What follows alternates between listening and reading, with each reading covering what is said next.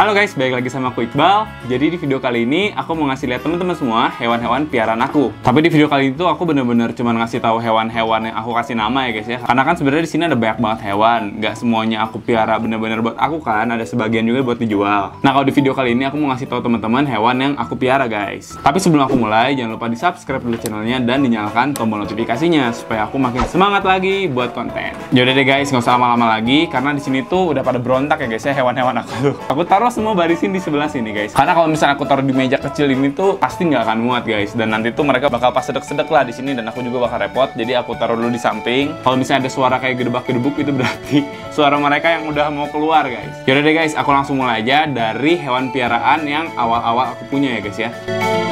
Oke guys, jadi ini adalah hewan pertama yang aku punya. Sebenarnya tuh aku dulu juga udah pernah piara hewan ya guys ya, waktu aku masih kecil, waktu lagi SMA atau masih SMP tuh aku tuh udah miara. Cuman tuh aku sempat vakum dan aku baru miara lagi waktu kuliah guys. Nah, ini adalah kura-kura yang pertama kali aku punya lagi guys nih. Ini adalah res atau red ear slider atau kura-kura Brazil. Kemarin juga udah pernah masuk ke video aku guys nih. Ini adalah si Marco. Si Marco ini tuh aku udah piara dari waktu aku ngekos dulu ya guys ya. Jadi tuh dari kecil banget, dari sekecil ini ya guys ya, dari baby dulu tuh aku beli tuh 25.000 lah. Sekarang udah segede ini guys. Ini udah sekitar 2 tahunan. Dan si Marco ini tuh walaupun aku taruh kolam tapi dia nggak galak tuh guys.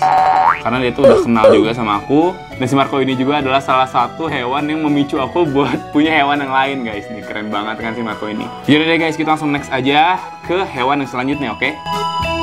Oke guys, jadi yang kedua ini adalah si red cherry ini aku namain ya. Si red cherry. Ini adalah kura-kura dada merah nih guys tuh.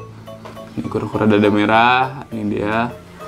Si cherry ini juga sekarang aku taruh kolam supaya menemunuin kolam ya guys ya. Nah dulu juga si cherry ini aku piara dari kecil banget. Dan sebenarnya bukan aku yang beli guys ini. Jadi teman aku punya. Dia tuh beli kura-kura damer tuh dua ekor yang satu mati dan yang satunya lagi tuh masih hidup karena dia udah agak males miara waktu itu tuh waktu masih baby tuh dikasih ke aku guys nih dan sekarang tuh aku urus dan udah segede ini ini juga usianya hampir sama sih kayak si Marco ini 2 tahunan 2 tahunan lebih lah udah segede ini si Damer ini juga kalau menurut aku sih pertumbuhannya lumayan lambat ya guys ya oke guys next ke kura-kura selanjutnya Oke guys, selanjutnya ada kura-kura daun. Nih, kura-kura daun.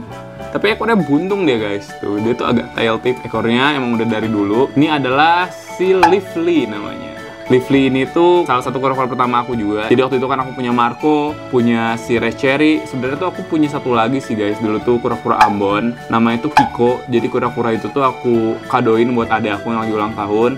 Tapi si Kiko itu tuh udah mati agak lama guys. Tuh dia masih agak kecil, dia udah mati. Dan Lively ini adalah kura-kura selanjutnya setelah aku miara si Ambon itu guys atau si Kiko. Dia udah lumayan gede juga. Tapi kesusul guys, ini gedenya sama si Marco. Halo, Awalnya guys. tuh gedean si Lively agak jauh. Tapi si Lively karena pertumbuhannya lambat banget ya, si Marco tiba-tiba nyusul aja sekarang udah gedean si Marco guys.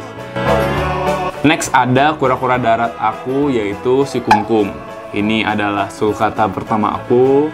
Dan si Kumkum ini tuh aku udah piara dari kecil banget guys. Dari sekecil ini dah, dari 5 cm dah aku piara nih. Tapi dia udah segede ini. Halo guys. Si Kumkum ini tuh asik banget sih diajak main karena kan dia juga nggak gigit, nggak nyakar, terusnya agak lambat juga kan kalau misalnya kura-kura air kan ditaruh di darat dia pasti mau kabur ya guys ya.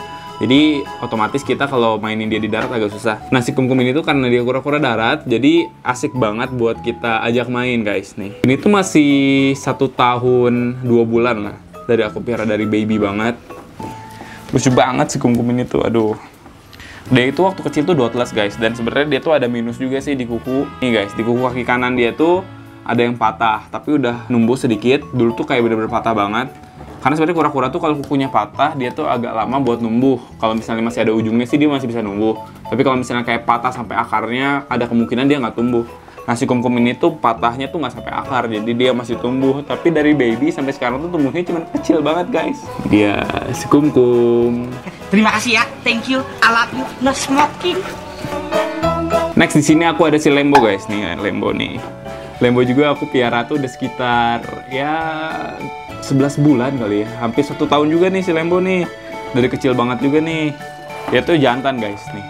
Dia habis lihat si Mercy terus dia agak birahi tuh. Jadi agak hitam gitu dia di bagian jenggotnya nih. Karena kalau jantan lagi birahi itu dia bener-bener kayak yang ngebuka si jenggotnya jadi hitam semua gitu loh guys. Dia lagi shading. Ini kulitnya lagi agak kelupas, tapi ini gak masalah ya guys ya.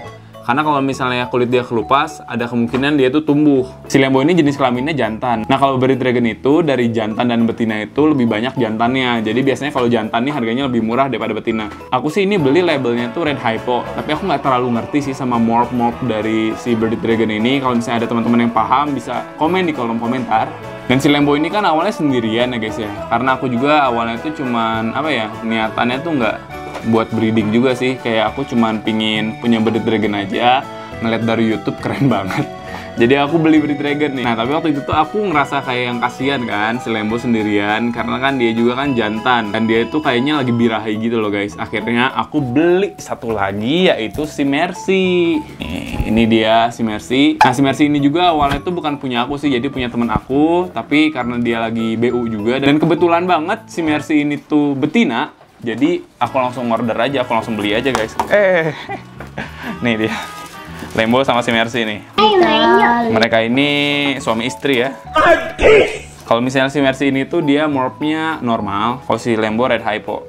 Aku ngerasa si Mercy kayaknya tuh bentar lagi udah mau bertelur deh guys. Soalnya dia tuh udah sekitar beberapa bulan setelah dia bertelur sih, 3 atau 4 bulan lah. Mungkin dia bakal bertelur lagi dan aku insya Allah bakal urus telur itu jangan sampai gagal lagi kayak kemarin guys.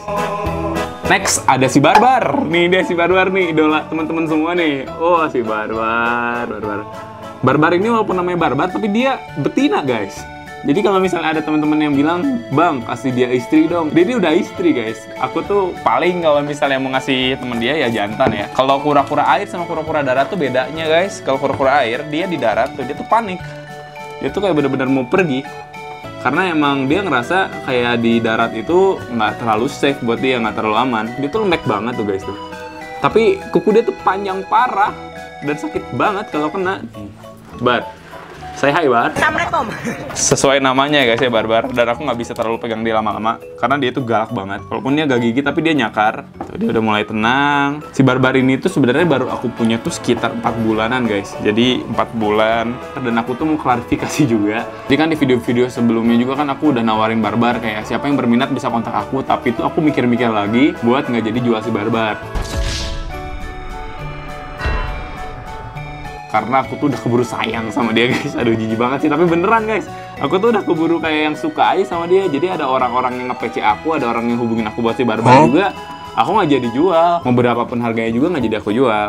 Oh ya guys. Si barbar ini tuh adalah diamondback therapy northern ya. Jadi kalau teman-teman yang nanyain barbar itu jenis apa dia itu adalah diamondback therapy tipenya northern.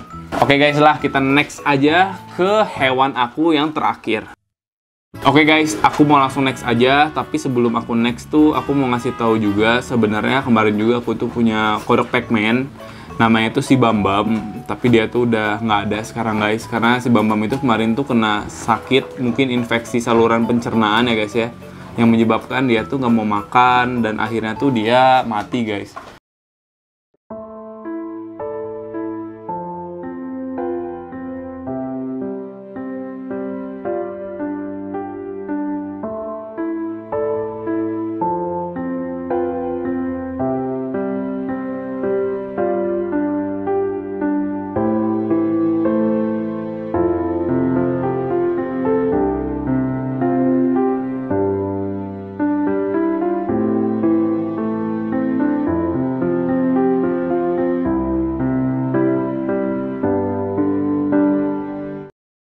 Dan aku juga kemarin sempet upload videonya. Kalau teman-teman yang kepo sama Bambam bisa lihat video aku yang sebelumnya. Tapi aku harus ikhlas aku jangan sedih. Dan sekarang aku mau ngasih lihat lagi hewan terakhir aku yang aku order buat aku piara guys.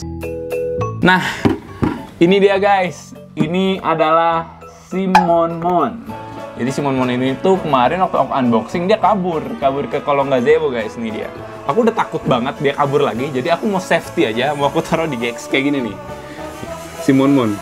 Dia itu kan Savannah Monitor dan Savannah Monitor ini sebenarnya kalau semakin besar dan semakin sering kita handle dia tuh bakal jinak guys. Tapi karena dia masih agak baru juga jadi agak rawan buat aku handle dengan nyaman guys. Karena dia tuh bakal berontak dan dia tuh bisa jadi kabur dan aku males banget kalau misalnya dia kabur ke kolong-kolong. Savmon ini lucu banget. Aku lihat di internet kayak langsung tertarik buat order, tapi aku nggak mau beli langsung gede karena takut kalau udah gede kan dia galak banget ya. Jadi aku mau order dari kecil aja nih, kayak Mon Mon nih. Aku mau buka, cuman aku takut dia kabur lagi, jadi nggak apa-apa. Kita kasih lihat aja teman-teman di sini nih. Emang nggak terlalu banyak sih guys hewan-hewannya, tapi itu aku benar-benar sangat amat memperhatikan mereka dan aku tuh bakal selalu menjaga mereka sampai mereka nanti besar ya guys ya. Oke guys, jadi sekian video dari aku. Semoga teman-teman suka. Jangan lupa di like, komen, dan subscribe dan di share ke teman-teman kalian yang suka sama hewan-hewan. Aku Iqbal pamit dan semua hewan piaraan aku juga pamit. Bye.